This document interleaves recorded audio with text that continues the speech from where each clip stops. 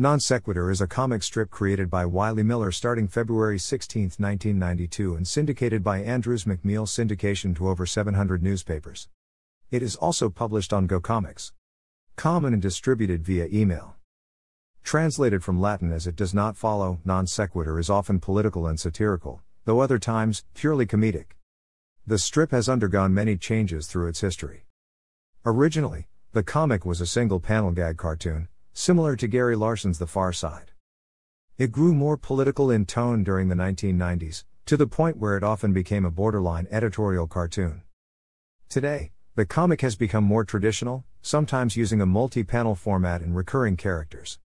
The horizontal daily strip is sometimes used as a single panel. The Sunday strip is vertical. Non Sequitur has been honored with four National Cartoonist Society awards, including the Newspaper Panel Cartoon Award for 1995, 1996, and 1998, and the Newspaper Panels Award for 2002. It is the only comic strip to win in its first year of syndication and the only title to ever win both the Best Comic Strip and Best Comic Panel categories. Originally, Danae, Joe, and Offshore Flo were separate characters in their own segments, but their storylines were eventually fused and they were billed as being family. Joe and his daughters moved to his native New England to live near his mother following his divorce and withdrawal from major media outlets.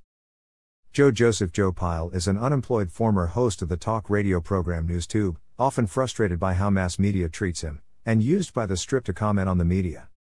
As the cast of characters grew and merged, he became the often bewildered father of Danae and Kate. His name may be a reference to the confrontational conservative talk show host, Joe Pyne, but is equally likely to be a tribute to Beloved. World War II correspondent Ernie Pyle, Joe thus represents the love and hate relationship many mainstream Americans have with the media.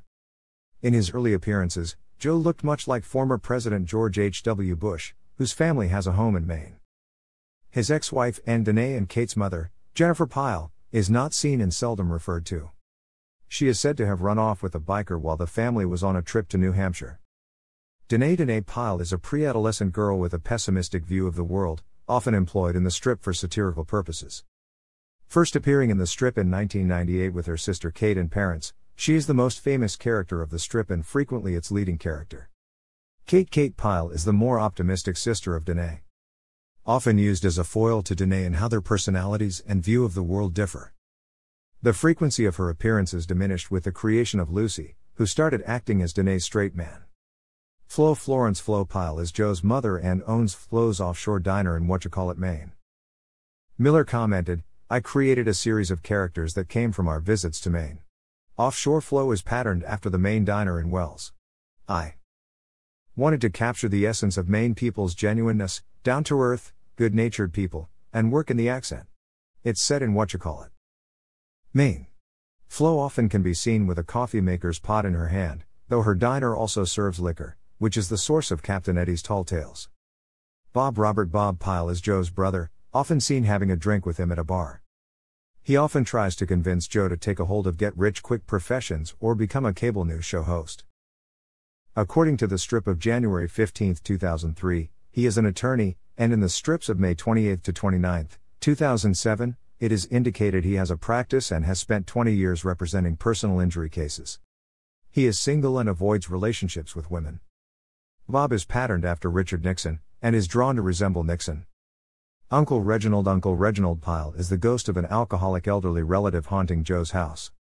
Sometimes the reader is given a glimpse into an alternate world where Reginald is still alive.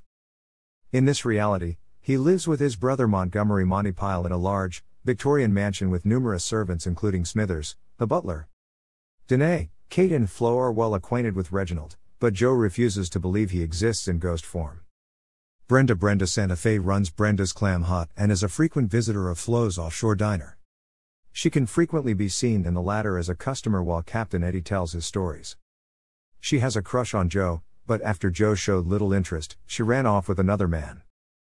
She sometimes wore a sweatshirt displaying the letters KPT, a common abbreviation for Kennebunkport, Maine. Victoria Victoria Santa Fe is Brenda's older sister. She is much more brash than Brenda, and originally showed less interest in Joe. They began dating eventually, however, and Joe's family frequently urged him to propose to her. She works at Brenda's Clam Hut.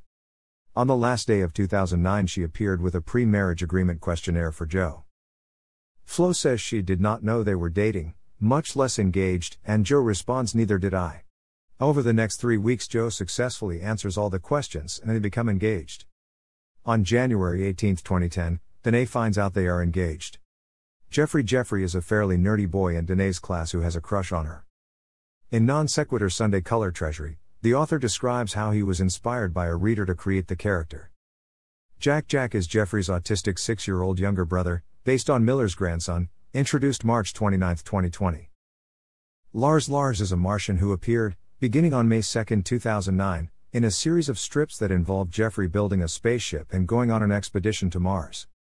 Lars acted as a helper in building the spaceship and a guide on Mars.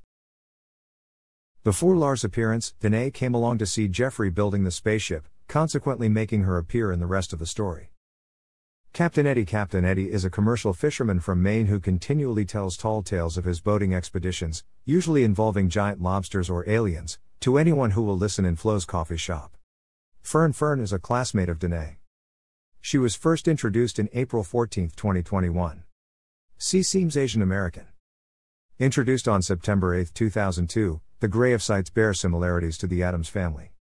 The Grayephsites also appeared in Danae's Halloween series in October and November 2002. Horace Horace Grayephsite, the father, carries his head on a plate. Miranda Miranda Grayephsite, the mother, floats around the house. Boyle Boyle Sight, a teenage boy, bears some resemblance to Jason Voorhees from the Friday the 13th films. Mimi Mimi Gray of Sight is the daughter and a baby. Lucy Lucy is a talking pygmy Clydesdale who, like Hobbes of Calvin and Hobbes, plays the silent observer most of the time. Lucy was introduced in the July 11, 2003 strip, in a storyline that had Danae and Kate going to a summer horse riding camp. At the end of the summer, Danae became good friends with Lucy and took her home. Unlike Hobbes, however, Lucy is a real horse who the kids talk to and interact with the same as any other character, nor is she invisible to adults. Petey Petey is dog of humble origins who has found his way into Kate's ownership. He can also talk to Danae and Kate. He constantly lets Rolf get him in trouble. Rolf Rolf is Brenda's dog and Petey's friend. The size of his muzzle far exceeds his brains. He's also a symbol of the strip and can be seen in the cover of Non Sequitur's Beastly Things.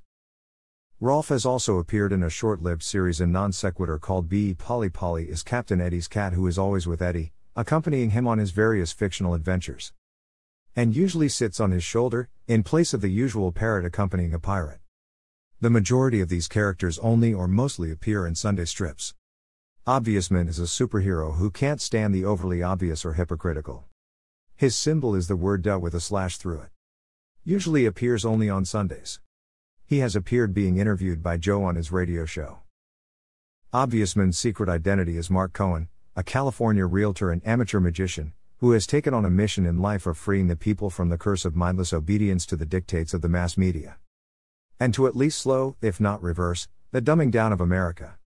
His nemesis is Professor Obfuscate. In the book Non Sequitur's Sunday Color Treasury, Miller stated that he named Obviousman's true identity after a friend who had died of cancer in 1999.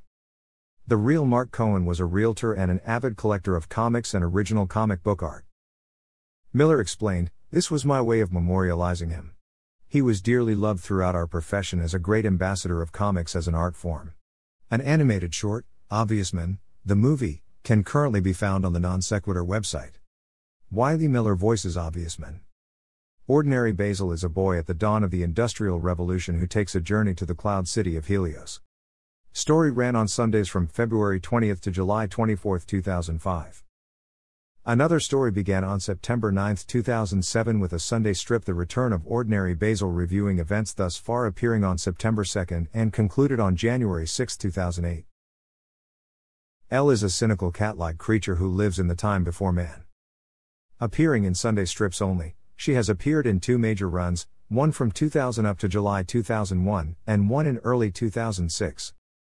Homer, called Honor in his female incarnations, is a departed soul who, aside from dealing with living in the afterlife, has to deal with real life whenever he returns to Earth. He has been an ancient Roman, a medieval peasant, a cave woman, and a female immigrant. Homer was developed into a spin off strip called Homer the Reluctant Soul, which Wiley attempted to market online, and featured in a book by the same title. Pierre of the North is a French Canadian who hates the cold and finds himself at odds with very clever polar bears. Lucifer often appears in the strip to delegate hellish punishments, such as watching reality shows. Street. Peter guards the gates of heaven and has interacted with numerous characters, including Captain Eddie.